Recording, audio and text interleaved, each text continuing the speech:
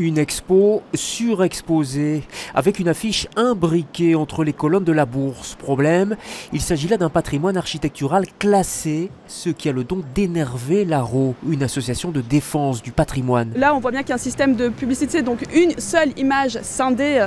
Et euh, ce qui fait que le, passant, quand il passe par là, automatiquement, il va voir une image et ça, amène, euh, ça, nous amène à ne plus voir du tout l'architecture, mais à se focaliser sur la publicité. Et plus du tout sur les colonnes euh, et sur ce qui est derrière puisqu'on ne le voit plus. Et la roue va même plus loin. D'après elle, ce placement d'enseigne est illégal car il aurait dû nécessiter un permis de la part de la région.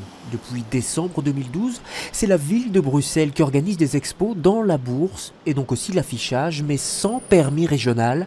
La raison est simple, elle en est dispensée. Ce type d'action culturelle-là est dispensé de, permis de la Commission royale et soumis à un permis ville et un permis urbanisme. Et il y a effectivement M. UNESCO qui surveille aussi toute opération dans le périmètre UNESCO.